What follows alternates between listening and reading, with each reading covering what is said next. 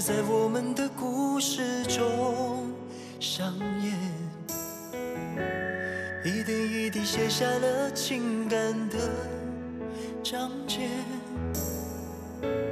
我想为你珍藏最美好的瞬间，静静的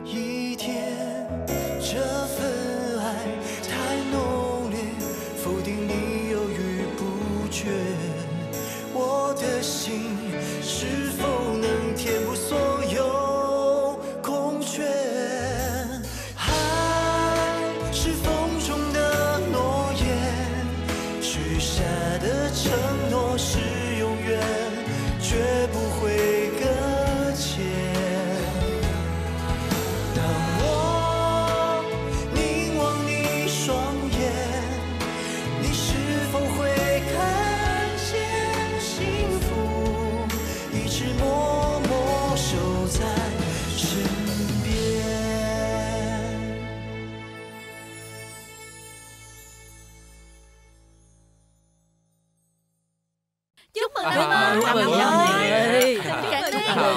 Cạn ly. Chúc mừng Cạn ly. Năm mới À, Cạn ly cạn ly. Ăn Sam, đi, mọi Sam người cứ à, tự nhiên con đi muốn ha. ăn gì nè. Ba ăn đi ba. Dạ con tự gấp được mà ông. Ờ, Nè À, đưa không chén đèo mà cho. không Dạ. Ờ, Nè, Ờ. nghe nói Dạ. là lần này Ờ, cháu về quê cũng vất vả lắm hả? Dạ, con mời ông. Con ngon không trời ơi, đã lên. Thượng Hải rồi mà vẫn còn khờ như vậy à Ừ. À, phải rồi Sam Sam Ừ. Tiền thưởng cuối năm của cháu được bao nhiêu vậy? Ừ, Cũng không nhiều lắm Bởi vì ờ, cháu vẫn chưa làm được một năm Nên tiền thưởng tính theo tổng kết cuối năm thôi Nhưng mà cuối năm chủ tịch cháu ký được một hợp đồng rất lớn Nghe các đồng nghiệp khác nói Năm tới mỗi người sẽ được thưởng ít nhất là 4 tháng lương Chủ tịch của cậu giỏi thiệt đó Wow, vậy chẳng phải là rất nhiều sao? Em lo ăn đi. Sam Sam nhà chúng ta. Giỏi thật đó. Chỉ vừa tốt nghiệp là đã kiếm được nhiều tiền rồi.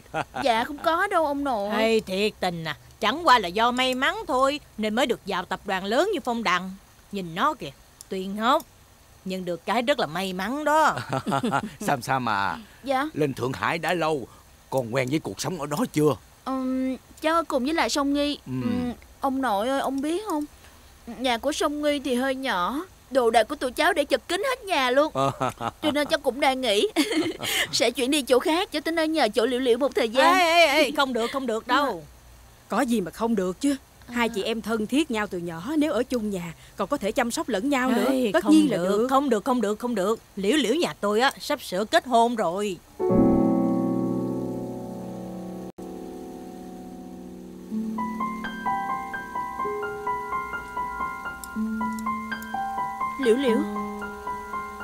không sao? Tôi nói cho mọi người biết nha, Ba mẹ của Du Thừa Hạo Đã mua một căn biệt thự. Và còn nói là Cho hai đứa nó ở riêng. Căn biệt thự đó hả, Hơn 150 mét vuông lận nha. Khu nhà đó ngoài việc an ninh rất bảo đảm ra, Không khí trong lành, Còn có cả hồ bơi nữa, Phòng tập thể dục nữa. Trời ơi, Nghe nói là ở đó trồng cả một hàng cây phong khi mùa thu đến thì ở đó chẳng khác gì ở nước ngoài hết trơn á. Ơi trời ơi, Đợi liễu liễu nhà tôi mà lấy chồng xong rồi á, Lúc đó tôi sẽ mời cả nhà mấy người đến chơi, Chứ ở nhà làm gì, Đi cho biết đó biết đây chứ, ha. Sam Sam à Còn cháu thì sao? Tóm lại là có bạn trai hay chưa hả?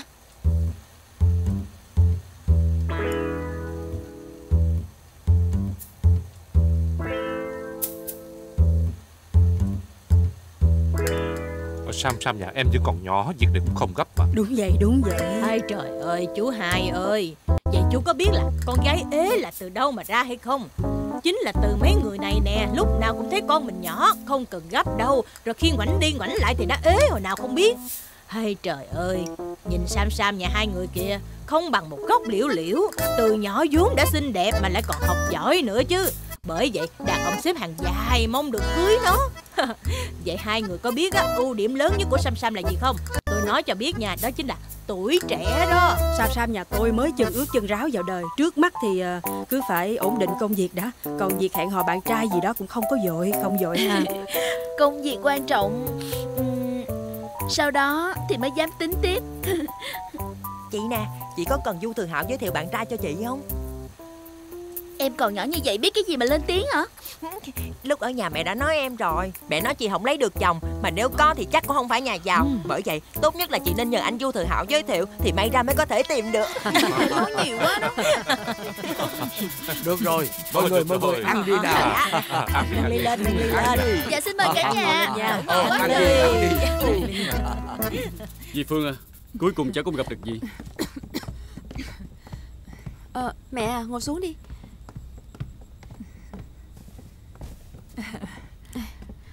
Từ từ thôi mẹ.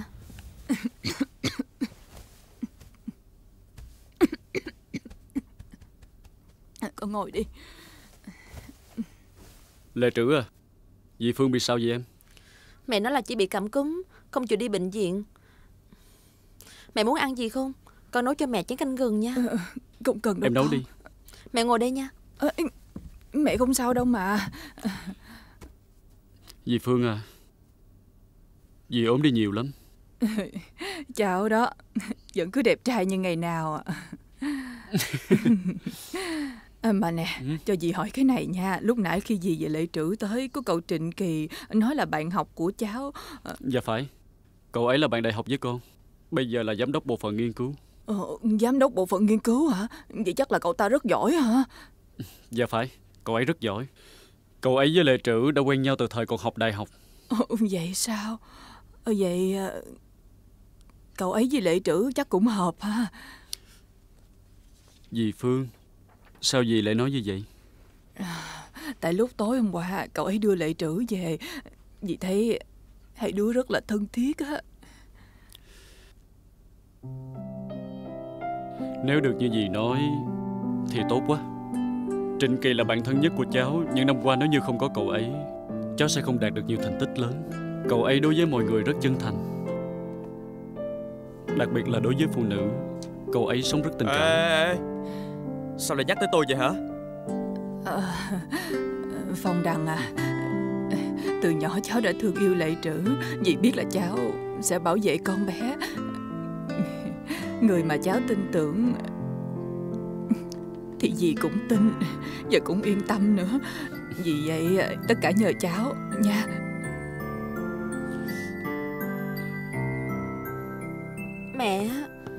Mẹ lại nói gì đó?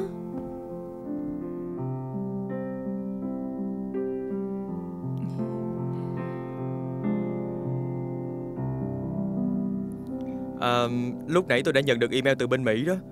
Bàn bạc chút đi nha. Ờ, Trời ơi các cháu bận việc thì mau đi đi. Đừng ngồi đây với dì nữa ha. Dạ dì Phương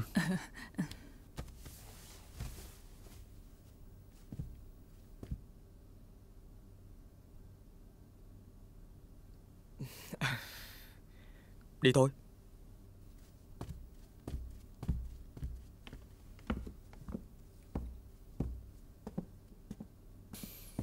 Mẹ. Mẹ à Sao mẹ cứ nói mấy chuyện này với Phong Đằng vậy? Chẳng lẽ mẹ không còn chủ đề khác sao? Mẹ cũng đã lớn tuổi rồi. Có gì mà mẹ chưa từng trải chứ. Nếu như có gì đó khiến mẹ không yên tâm Thì đó chính là con. Trời ơi con lớn rồi. Mẹ đừng lo cho con nữa. Coi mẹ kìa Vẫn là sức khỏe. Con đã nói rồi Ăn Tết xong con phải đưa mẹ tới bệnh viện Không thể chần chừ được nữa. Lệ trữ à Con cũng không thể cứ mãi chờ đợi phong đằng như vậy được. Trên đời này có biết bao nhiêu là đàn ông tốt. Ha? Cho dù nó có là một cây quý hiếm Thì con cũng không thể vì nó mà bỏ qua tất cả những cái cây khác trong rừng được. Trời ơi từ sáng tới tối mẹ cứ nói hoài mấy chuyện này Chẳng lẽ con lại không biết? Chẳng phải là trước đây con cũng đã nghe lời của mẹ Hẹn hò với mấy người rồi hay sao Những chuyện tình cảm khó nói lắm mẹ à. Không thích tức là không thích thôi. Không có cách nào miễn cưỡng được đâu mẹ Đó là vì con không chịu mở rộng lòng mình Nên mới bị miễn cưỡng như vậy. Theo như mẹ thấy Thì vẫn là cái cậu Trịnh Kỳ kia rất là được. Nè mẹ à Mẹ đừng có nói lung tung trước mặt người ta đó. Con với Trịnh Kỳ là bạn rất là tốt với nhau. Mẹ nói vậy khiến con cảm thấy ngại lắm. Mẹ đã nói rồi nha Mẹ mong con sớm rời bỏ khỏi ngôi nhà cũ kỹ này đi. Dạ được rồi con biết rồi con biết Chỉ rồi. cần mà lấy một thứ Mẹ mẹ tốt nghe lời con uống chén canh này đi. Mau uống ngay lúc còn nóng nha mẹ. Sắp tới giờ cơm rồi con đi nấu cơm đi. Trời ơi cái con nhỏ này. Bên Mỹ có chuyện gì vậy? Tại sao lại đẩy vấn đề đó qua tôi? Vấn đề gì? Vấn đề giữa cậu và Lệ Trữ á. Cậu cố tình nói với dì Phương vậy là có ý gì chứ? Tôi chỉ nói lên những tâm tư và mong muốn của dì Phương thôi. Phải Dì Phương đúng là đang cần một chàng rể. Nhưng dì ấy muốn cậu Chứ không phải tôi. Dì Phương đã biết quá rõ tình cảm với tôi và Lệ Trữ Và tôi chỉ đang giới thiệu người bạn tốt nhất của mình cho dì ấy thôi. Chỉ mang tính chất tham khảo. Tôi không cần cậu giới thiệu đâu. Tôi với Lệ Trữ Vẫn chưa đủ thân thiết sao? Mà phải nhờ tới cậu tiến cử chứ. Cậu nghĩ cô ấy có buồn không? Cậu có thể khuyên cô ấy. Được không? Tôi khuyên cô ấy Nếu như cậu nói không Từ giờ trở đi Tôi sẽ không bao giờ nhắc nữa.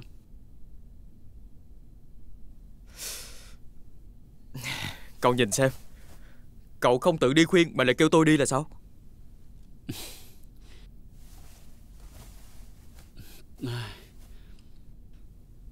Tôi thấy phía bên Mỹ chắc không có vấn đề gì. Vấn đề rất lớn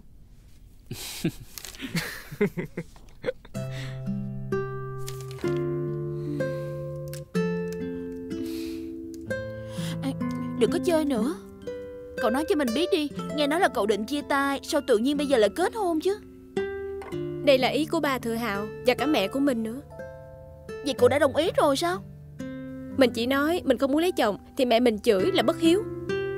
Nhưng mà mình đã suy nghĩ kỹ rồi. Cậu nói xem Mình là do ba mẹ lượm về nuôi. Với lại mẹ đối xử với mình rất tốt Còn nuôi mình đến lúc tốt nghiệp một trường đại học danh tiếng nữa.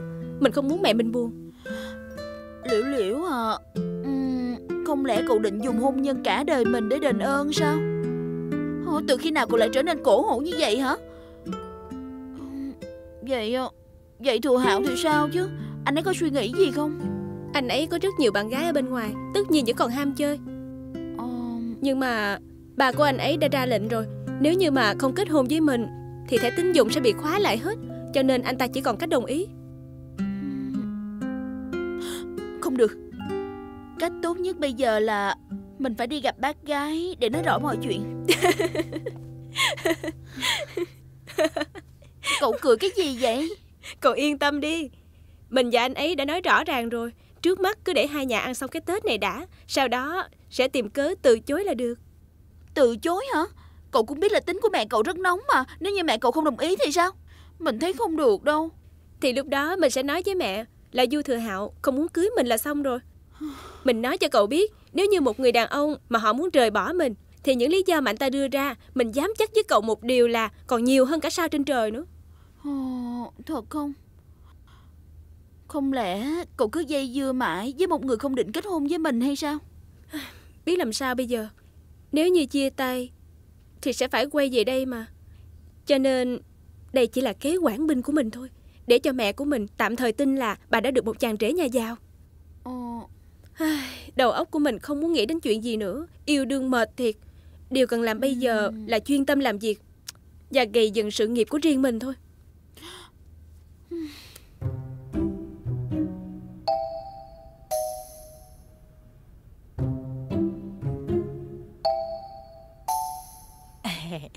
à, Sam Sam ơi Trong này là gì vậy? Có thể mở ra không? À, Dạ được. Vậy thì chúng ta bắt đầu mở quà đi.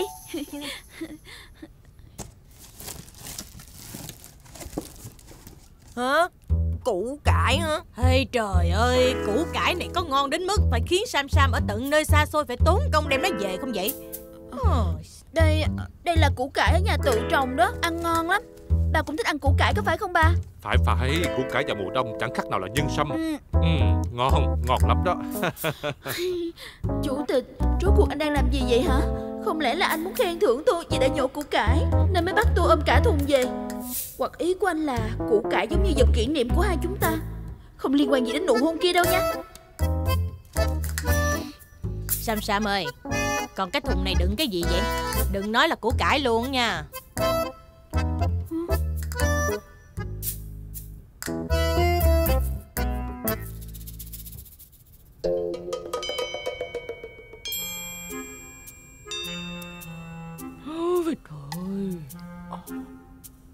Chị ơi Chị cướp ngân hàng á hả?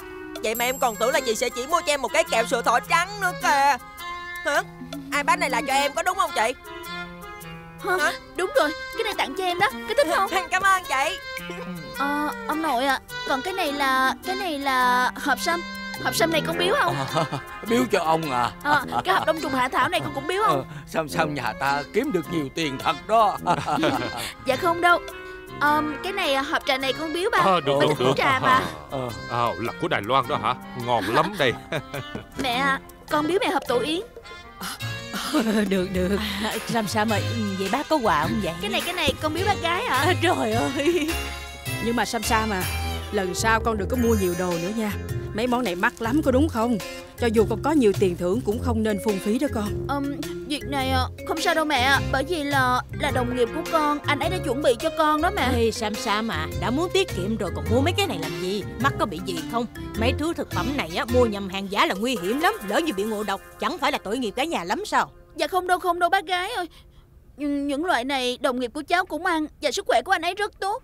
Là vì ờ, vì mối quan hệ của cháu và anh ấy rất tốt Cho nên anh ấy tính giá rẻ cho cháu Đem bán đi còn lời đó. Ê trời ơi Sam Sam à Cháu không hổ danh là làm tài vụ đó nha. Biết tính toán quá trời Đâu có như liễu liễu nhà bác Bao nhiêu tiền lương nó chuyển hết cho thẻ của bác. Không hề chừa lại một đồng nào luôn. Đúng là con bé ngốc quá trời.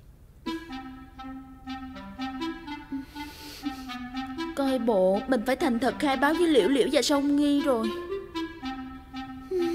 Mùng ba Tết Sông Nghi sẽ từ Hồng Kông trở về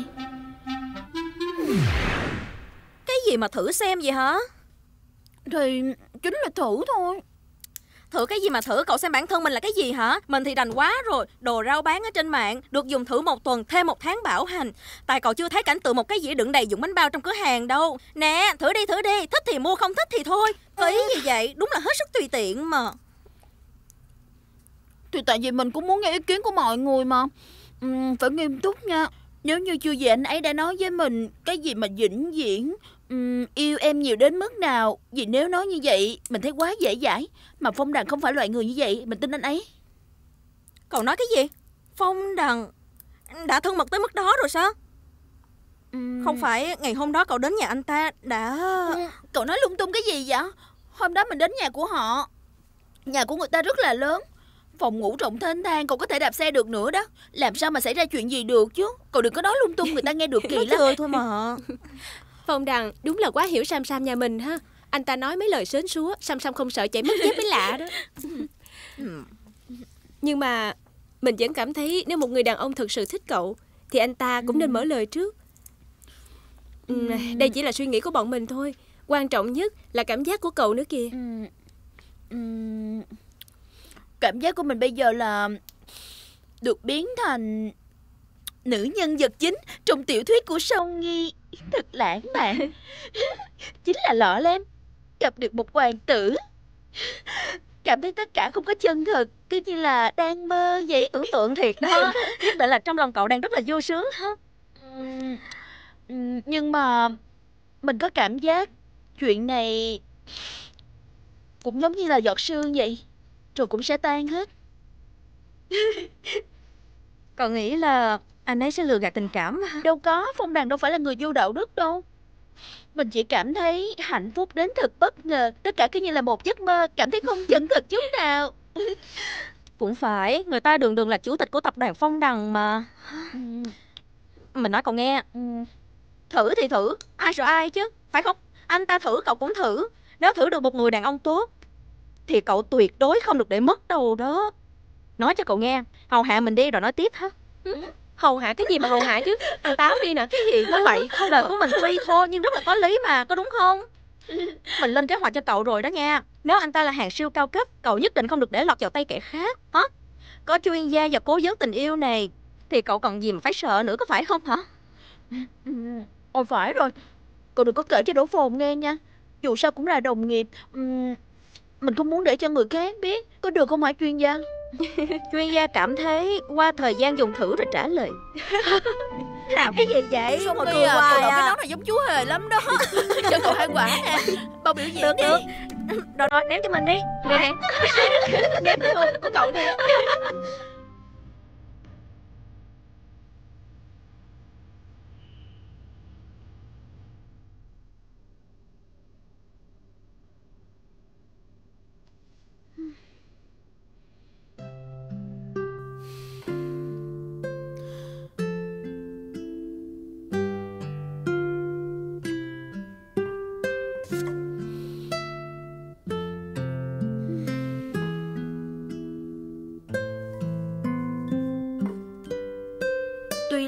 quan thử đó cũng không mấy thành ý lắm. Nhưng mẹ cũng từng nói Đánh giá một người đàn ông Đừng chỉ nghe những điều mà anh ta nói Mà còn phải xem những gì anh ta làm cho mình nữa. Mình nghĩ như vậy là đủ chắc chắn rồi.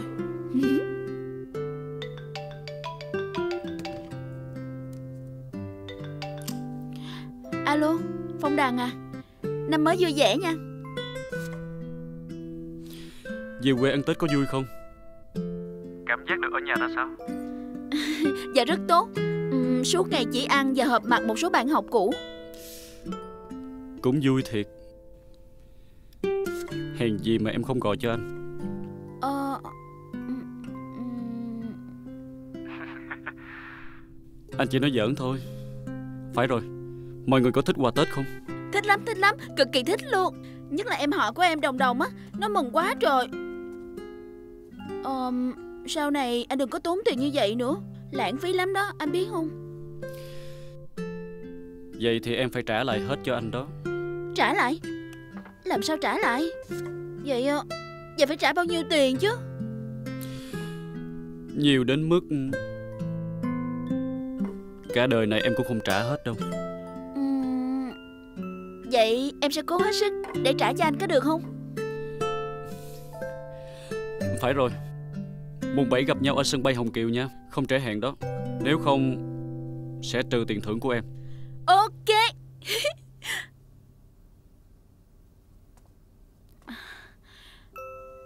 Phong Đằng à? Hử? Chỗ của anh ở Có tuyết rơi chưa?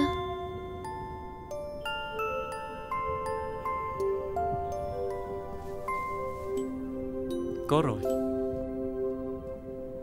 ngập tràn những bông hoa tuyết. Một số người nhìn thấy sẽ rất đau buồn. Một số khác lại cảm thấy thật hạnh phúc. Nhưng chúng ta hiện tại vừa gọi điện vừa ngắm tuyết rơi. Ừm, Giống như đang cùng che dù dưới trời tuyết. Với chiếc dù đó. Chỉ có hai chúng ta. Cho nên cảm thấy hạnh phúc lắm. Có phải không anh? Cậu chủ à.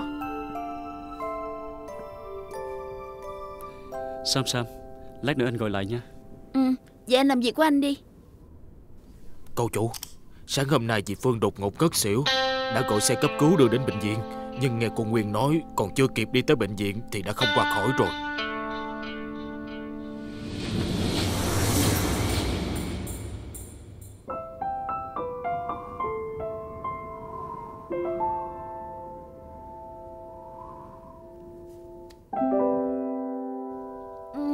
cơm ngon thiệt đó. Con đi cũng lâu rồi mà vẫn thích ăn cơm mẹ nấu. Vậy thì ăn nhiều nha. Dạ.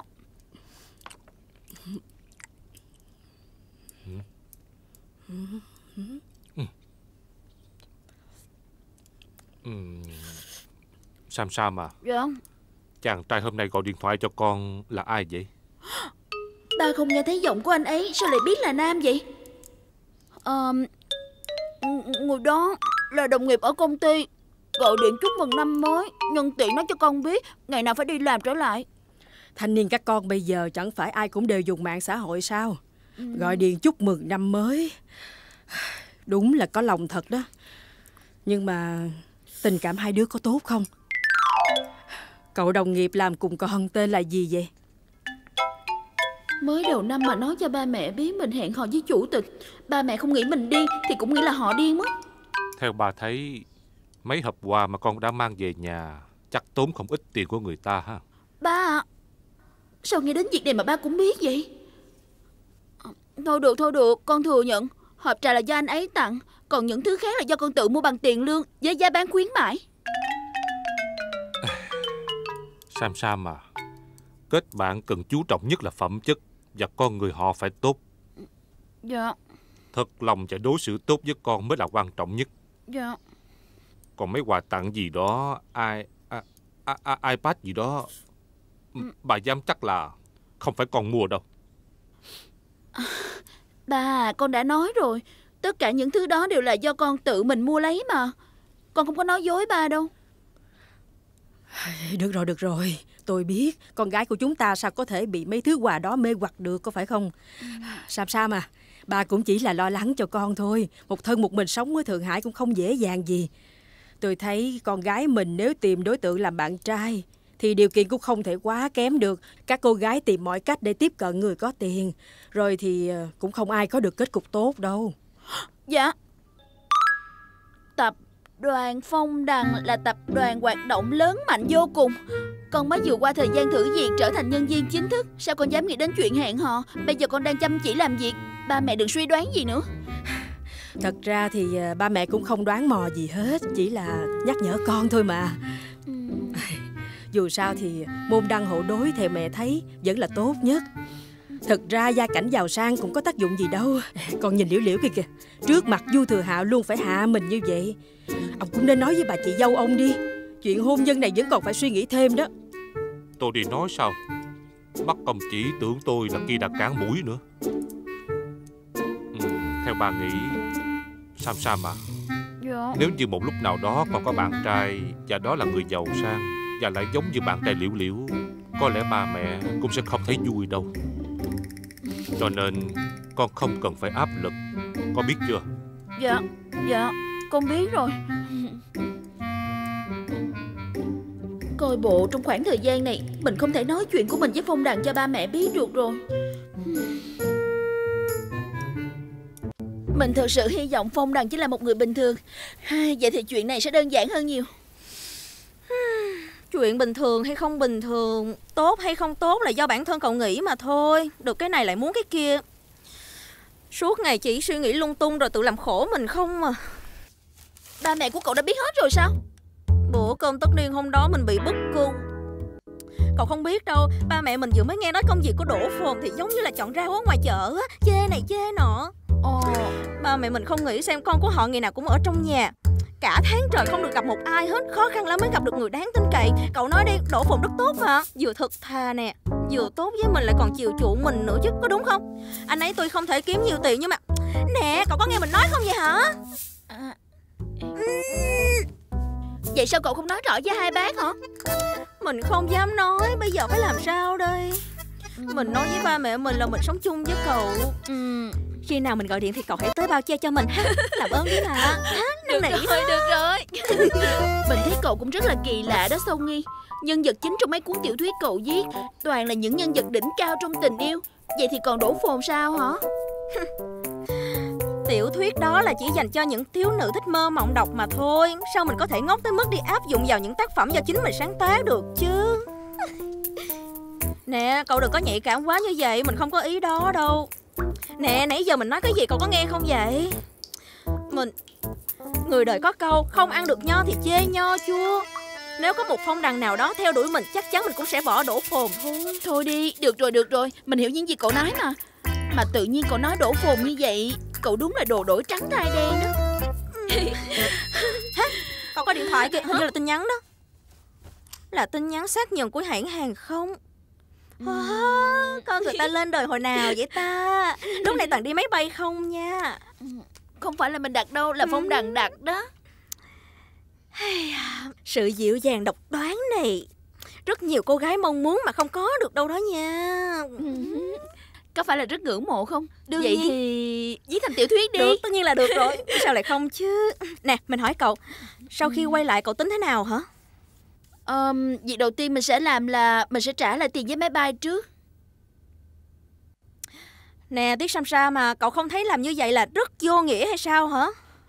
Mình cũng không muốn Nhưng phải làm thế nào đây? Không thể để người ta nghĩ rằng mình ở bên anh ấy Là có ý đồ này nọ Hay là muốn lợi dụng anh ấy Không hay đâu. Đúng vậy, cậu có thể trả lại tiền không sao hết Nhưng mà cậu không cảm thấy làm như vậy là rất không lãng mạn hả? Rất rất lạnh lùng và xa cách đó có hiểu không Người ta là chủ tịch mà lại cần những đồng bạc lẻ của cậu sao? Cách cách này không khả quan đâu bạn Hiền à. Ừ, Vậy vậy phải làm sao? Có cách nào khác không? Đưa tay ra đây. Phải đánh một cái trước. Ừ. Vậy cho cậu nè. Ừ. Hãy nói cho mình nghe Sau Tết là lễ gì? Nguyên tiêu. Mình đánh chết cậu bây giờ đó. Mình biết là ngày lễ Đúng vậy. Nhân Chỉ cần trong ngày đó cậu tặng quà cho người ta là được rồi. À, à đúng rồi Sao mình lại không nghĩ ra? Cậu thật là thông minh quá đi Song Nghi à Bái mình làm sư phụ đi. Tặng quà gì bây giờ? Cậu Để mình suy nghĩ đã mà. Cái gì ta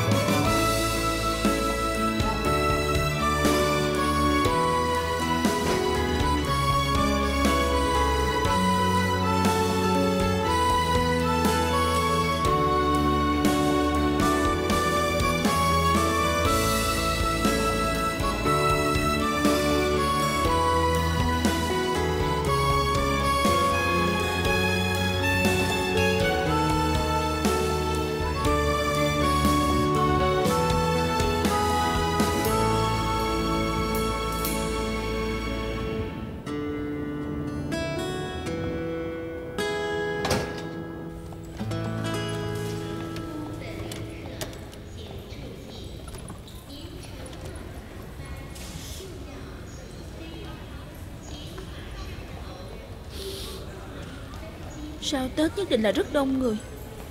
Để thêm một lát nữa cũng không sao. Không biết khi Phong Đằng nhìn thấy cái này Sẽ có phản ứng như thế nào ta?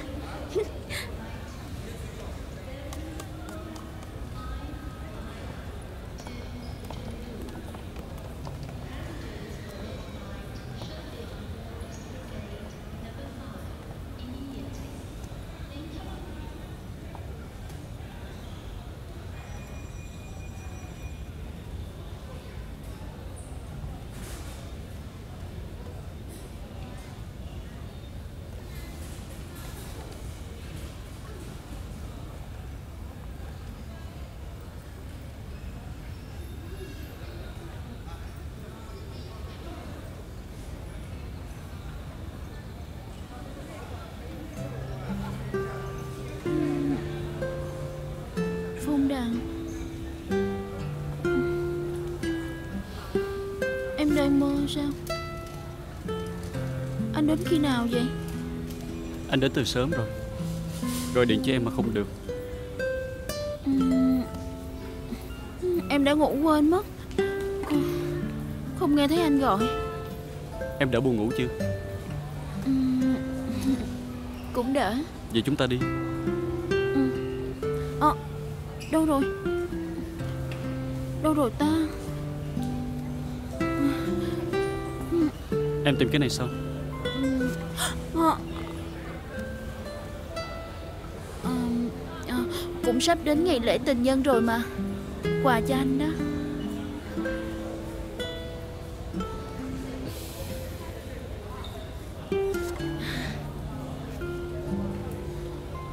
Nhà anh sống theo truyền thống. Ông nội không cho phép đón lễ tình nhân phương Tây. Nên trước giờ anh chưa từng đón lễ tình nhân Nhưng mà món quà này Anh rất thích nó.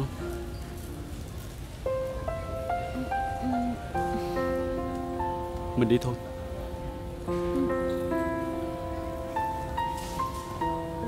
Sam Sam à Hử? Mấy ngày trước mẹ của Lệ Trữ đã qua đời. Cái gì chứ? Ờ, Những ngày này Có thể cô ấy sẽ ở bên nhà anh. Dạ. Anh hãy chăm sóc cô ấy thật tốt nha Ừ. Chúng ta đi thôi. Cô ấy đang đợi mình ngoài xe.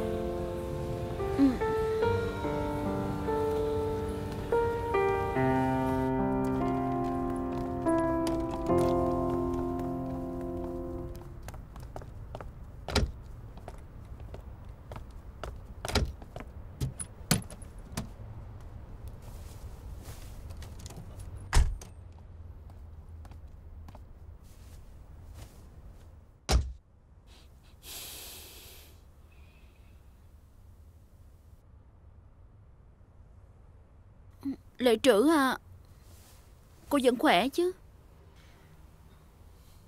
Năm mới vui vẻ. Trời ơi Mới có mấy ngày không gặp mà nhìn lệ trữ tiều tụy quá. Làm sao đây? Mình lại không biết an ủi người khác.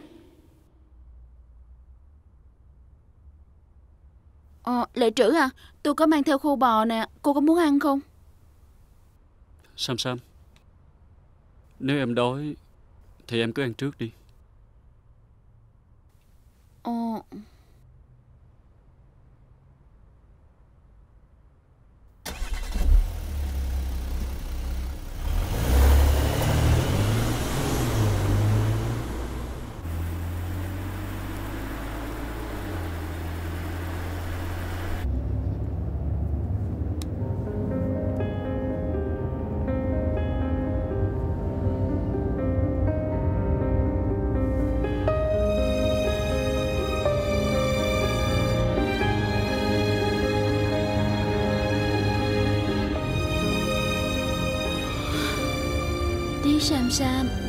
đừng nghĩ bậy bạ nữa. Lúc này mày ghen bóng ghen gió với người ta làm gì chứ?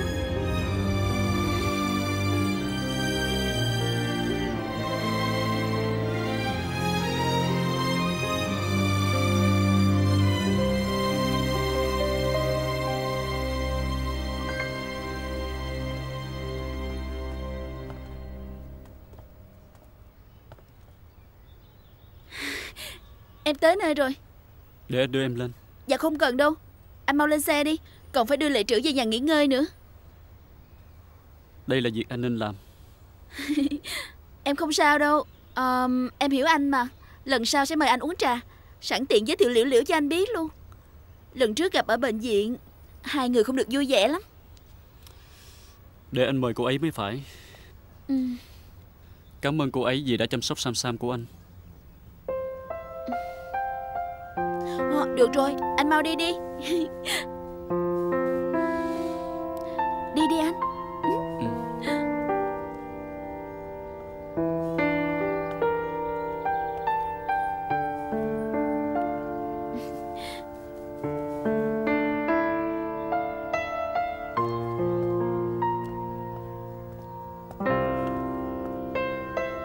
Kể từ hôm mùng 1 Cũng đã gần một tuần rồi không được gặp Phong Đằng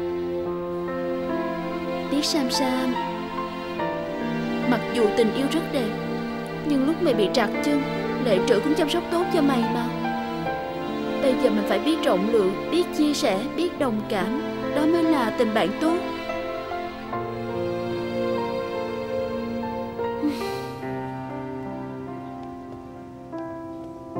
Dạ chào cậu chủ. Cô Nguyên à Hành lý đã được đưa đến đây hết rồi. Tất cả đều ở trong phòng. Em cũng mệt rồi. Lên lầu nghỉ ngơi đi. Chú Dương Xin lỗi đã làm phiền chú. À, Đừng nói vậy mà. Tiểu chu à Dạ. Mau đưa cô Nguyên về phòng nghỉ ngơi đi. Ừ. Đừng quên Đem canh táo đỏ vô phòng cho cô Nguyên uống đó. Dạ nhớ Cô Nguyên à Xin cô hãy đi theo tôi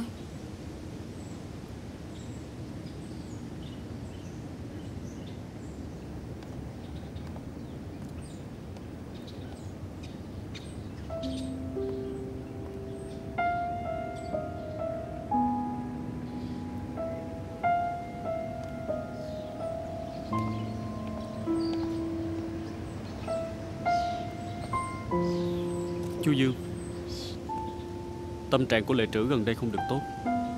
Chú chăm sóc cô ấy giùm tôi. Tôi biết mà Cậu cứ yên tâm. Tối nay tôi có việc Sẽ không về ăn cơm đâu. Dạ cậu chủ.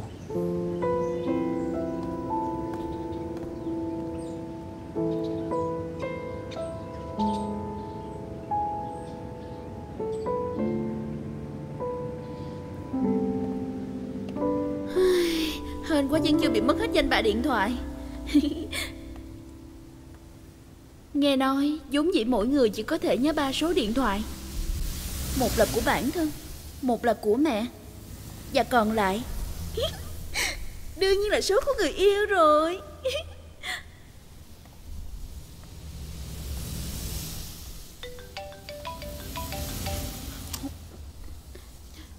Alo? Em đang làm gì vậy? Anh tới đón em đi ăn tối. Um, Em vừa đi làm lại sim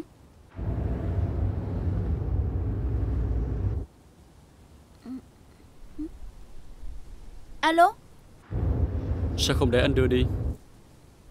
Thật ra em có làm lại sim hay Không không quan trọng. Quan trọng là anh phải đưa em đi. Em biết chưa? Ừm, Không phải chứ. Ngay cả chuyện này mà anh ấy cũng giận hả? Ờ, Không sao đâu mà. Em Em đã tự đi làm sim Ở một tiệm điện thoại bên đường gần nhà liễu liễu Chỉ là tiện đường thôi. Ờ, lệ trưởng đâu rồi anh? Anh có đưa cô ấy đi ăn cơm chung với tụi mình không vậy? Em đợi anh Anh đi đón em trước. Dạ. Được rồi. Anh cúp máy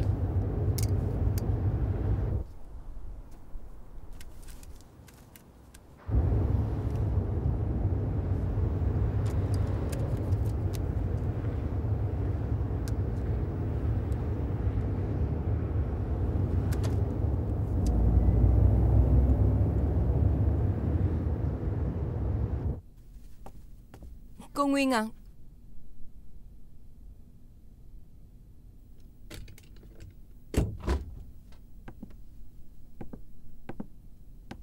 Cậu chủ có việc đi ra ngoài rồi. Cậu ấy dặn tôi nói với cô là Cậu ấy sẽ ăn tối bên ngoài. Ờ. Vậy tôi ăn tối với mọi người. Nhưng mà cậu Trịnh Kỳ đã tới rồi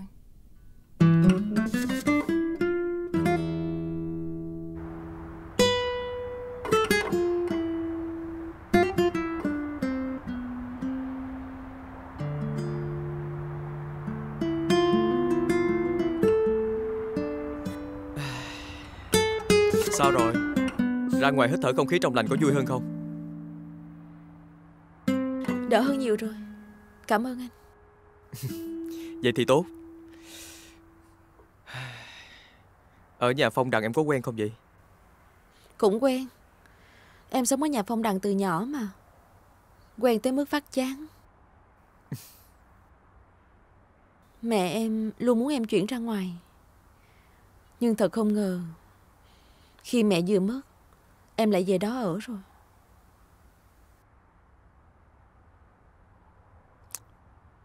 Thật ra Phong Đằng nên ăn cơm cùng với em mới phải. Anh cũng biết anh ấy mà. Một khi để làm việc gì thì sẽ rất chuyên tâm. Yêu đương cũng không ngoại lệ. Cho dù người bạn cũ là em đây gặp phải biến cố Anh ấy cũng sẽ không bỏ mặt bạn gái của mình đâu. Đúng Không ai có thể phá vỡ được nguyên tắc của cậu ta hết Cậu ta hấp dẫn em ở điểm này nhất sao 爱情是太过复杂的游戏，一投入就害怕失去。如果开始是为了